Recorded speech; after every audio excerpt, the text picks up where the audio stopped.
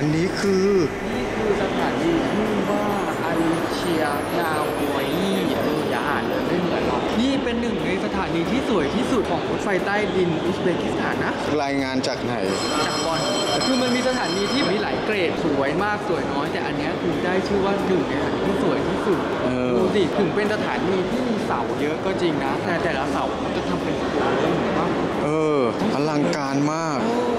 เข้ามาในมัสยิด และในโค้งอะเห็นป่ะเขามีลายด้วยนะ โอ้โห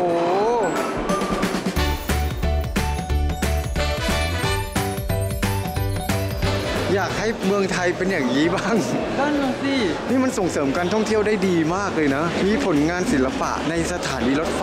แทนที่จะมีแต่โฆษณาจริง